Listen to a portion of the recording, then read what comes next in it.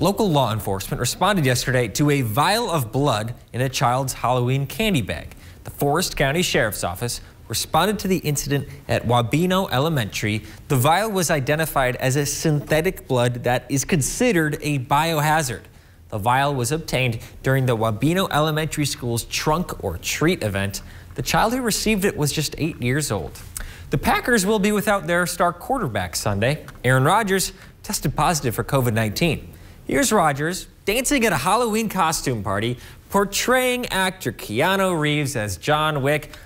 At the end of the day, just maybe not the best look for the MVP quarterback. And it turns out Roger is not vaccinated either. He did say he was immunized, but not vaccinated, obviously. Jordan Love is expected to start this Sunday against Kansas City.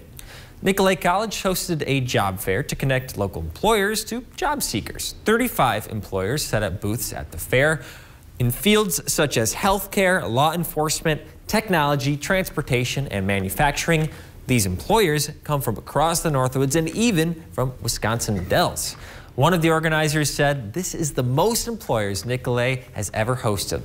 When you think of mayors, you probably don't think artists as well. Well, three mayors have something to say about that. Rhinelander Mayor Chris Frederickson, Stevens Point Mayor Mike Wiza, and Wausau Mayor Katie Rosenberg all painted for the River Cities Mayor's Art Auction.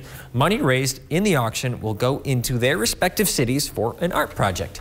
If you'd like to bid on these paintings, go to auction.pbswisconsin.org.